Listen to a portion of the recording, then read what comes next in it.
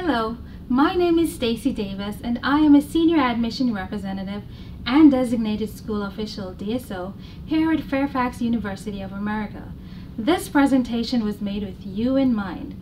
We want to make sure that we cover all aspects of the OPT application process. We therefore invite you to watch this presentation in its entirety as we delve into the process of applying for your OPT as well as the documents you need to apply for your OPT. If at the end of this presentation we did not discuss your particular case, we invite you to visit our office. Overview of presentation. What is OPT? How long does OPT last? Am I eligible for OPT? When should I apply for OPT? How do I apply for OPT? What documents are needed to apply for OPT? Form G1145. Mailing my OPT application. What documents will I receive from USCIS after I submit my OPT application? OPT reporting requirements. Where can I work while on OPT? Can I extend or renew my OPT? OPT request form. What is OPT? OPT stands for Optional Practical Training. OPT is training that is directly related to an F1 student's major area of study. It is intended to provide a student with practical experience in his or her field of study during or upon completion of a degree program. If granted by USCIS, OPT will be given initially for a duration of 12 months. Am I eligible for OPT? To be eligible, you must be in valid F1 status for at least one academic year at the time of OPT application. At FXUA, one academic year is consecutive enrollment in fall and spring semesters or spring and fall semester. Intend to work in a position directly related to your program of study. Complete your program of study within 90 days of OPT application submission. Your OPT application should be submitted to USCIS no earlier than 90 days prior to your program of completion date. No later than 60 days after your program completion date. Any OPT application submitted to USCIS outside of these timeframes will result in an automatic denial from USCIS. How do I apply for OPT? Step 1. Any student applying to obtain OPT from USCIS must first register and attend a mandatory OPT workshop hosted by the International Student Services Office. Step 2. Student must obtain and complete all of the required documents to be submitted to USCIS as shown on the following slides. Step 3. Students must complete and submit the completed OPT request form via the ISS portal. Any incomplete form submitted may result in a delay of the OPT application I-20 process. Step 4. Students will be informed via email once their OPT recommendation I-20 is ready for pickup. Step 5. Students must attend an OPT package review with the DSO where copies of the required documents being submitted to USCIS will be scanned and filed in the student's folder. Step 6. Once students receive their new updated OPT I-20, it should be endorsed by the student and then a copy of the I-20 should be mailed to USCIS along with the rest of the required documents. Please note, USCIS must receive the OPT application within 30 days of the OPT recommendation I-20 being issued. Failure to do so will result in an automatic denial from USCIS. What information or documents are needed to apply for OPT? Application fee, two passport size pictures, I-765 form, G1145 form, copies of all previous I-20s, copy of valid passport, copy of F1 visa and or approval letter, copy of I-94 card or electronic record, official transcript showing your final semester as in progress, copy of your new OPT recommendation I-20, copy of any previous EAD cards if applicable. The application fee is 410 US dollars. This should be made payable to the US Department of Homeland Security in the form of a check or money order. Do not send a cash. Your passport size pictures. Photos should be no older than 30 days from the date which your documents are being submitted to USCIS. On the back of the photos, the following should be written in blue or black ink. Your full name, I-94 number, and SEVIS number. The I-765 form. The instructions to the I-765 form are located at the uscis.gov website.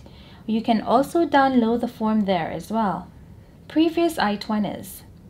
Include copies of all your previous I-20s with your OPT application packet. Each I-20 should be properly endorsed by the issuing DSO. Each I-20 should be properly endorsed by the student at the time of the receipt of the I-20. Do not send the original I-20s. Here is an example of what your I-20 should look like and where you should sign. Please note you can have the old version of the I-20 as well as the new version. We will also need copies of your passport. The passport must be valid. You will also need to submit a copy of your visa. Here are also examples of the I-94 card record. You will need an official transcript, not a student copy. When applying for OPT before degree conferral, students should be enrolled, registered and paid for their last semester, so it shows in progress on their transcripts. The OPT application deadline will be shown on your I-20. USCIS must receive your complete OPT application no later than 30 days after the OPT has been issued by the DSO. The date the I-20 was issued by the DSO is located on page 1 of the OPT Recommendation I-20. USCIS must receive your application before the end of your 60-day grace period. This is an example of an EAD card. If you have received an EAD card in the past, make sure to include a copy of the front and back of the card with your OPT application. Form G1145. This form is optional but highly recommended. Use this form to request email and text notifications sent to you about your application. You can download this form from the uscis.gov website. Make sure this form is the first page of your package. USCIS will rarely contact you by phone regarding your OPT application. If you receive a phone call from an individual claiming they work for USCIS or any other government agency, do not provide your personal information to them. Obtain the individual's name and phone number and contact the ISSO. For mailing addresses, if you are using express mail such as UPS, FedEx, or DHL, please use the address on the left of the screen. If you are using USPS, which is the US Postal Services, please use the address on the right of the screen. It is highly recommended that you choose priority mail to track your package. What documents will I receive from USCIS after I submit my OPT application? You may receive but are not limited to the following documents. I-797 Notice of Action, OPT Approval Letter or EAD card, Request for Evidence RFE. It is very important that the ISO also have copies of your OPT application documents. Please email copies of them to the DSO once the documents are received. You will also receive the I-97 form Notice of Action. This is an example of what it looks like. Your approval letter will also look like this, as well as your EAD card. Do not begin working until you receive your EAD card and your OPT start date has arrived according to your EAD card. Beginning work prior constitutes work without proper authorization and your F1 status will be terminated. If you are asked for an RFE, an RFE is a letter from USCIS requesting you to submit more evidence in order for them to continue processing your OPT application and make a decision on whether or not to grant OPT. If you receive an RFE, it is important that you contact the ISSO immediately as RFEs are extremely time sensitive. OPT reporting requirements. You must report any changes or updates to your address, phone, name, and employment within 10 calendar days while you are on OPT. Failure to do so may result in termination of your F1 status. For address and phone number, changes or updates, please log in to your FXUA student portal and make the necessary adjustments. For employment updates, changes, please submit an offer letter and employment notification form via the ISS's portal. Employment notification form. You must work a minimum of 20 hours per week while on post completion OPT. Work must be related to your field of study. You are not to exceed more than 90 total days of unemployment while on OPT. If you are unable to obtain and begin working before your 90 total days of unemployment has concluded, please contact the ISSO immediately for advisement. You will also need to fill out the Supplement to Employment Notification form and submit it to the Career Services Department immediately. Please make sure to complete the employment notification in its entirety. So, where can I work while on OPT? You may work anywhere within the United States. Qualifying employment initial 12 month OPT. You can have paid employment, multiple employers, work for hire, which is contract work, self employed business owner, short term multiple employers, employment through an agency, as well as unpaid employment. Can I extend or renew my OPT? No matter the field of study, anyone applying for initial post completion OPT will only be authorized to receive up to 12 months of practical training. If you are a student who will be graduating and obtaining a degree within a qualifying STEM program, you may be eligible to extend your OPT at a later date.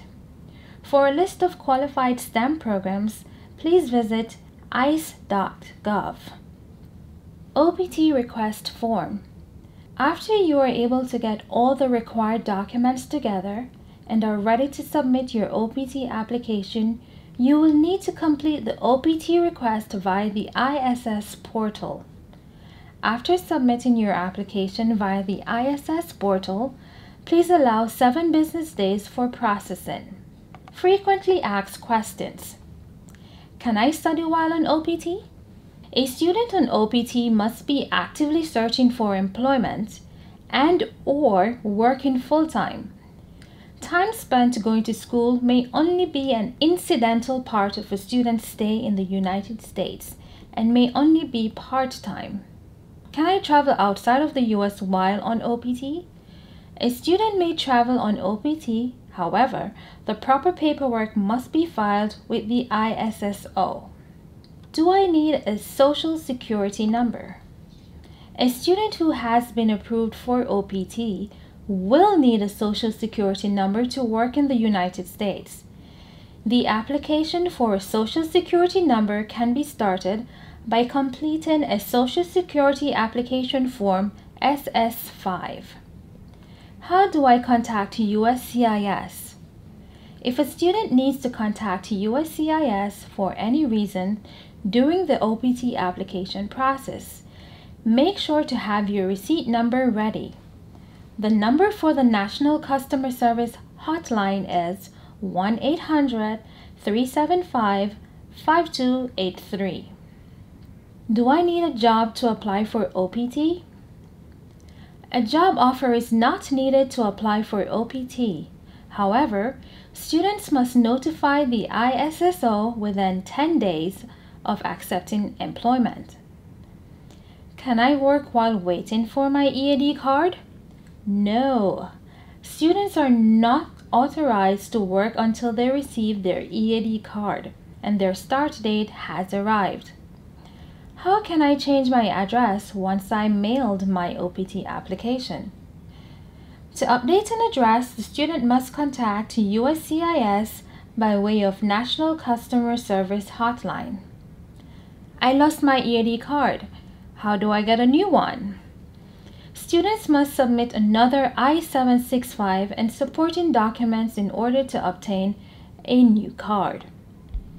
Thank you for watching this presentation. If you have any questions, please visit us at the International Student Services Office.